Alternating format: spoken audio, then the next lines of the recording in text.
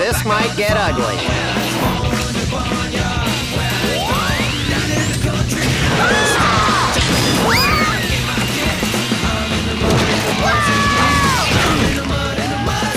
Forgot to factor in wind current.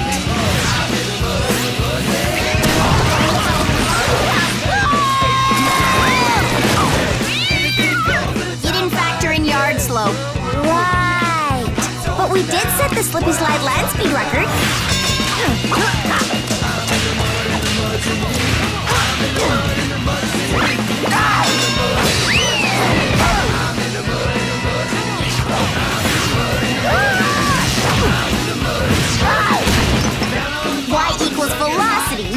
Trajectory.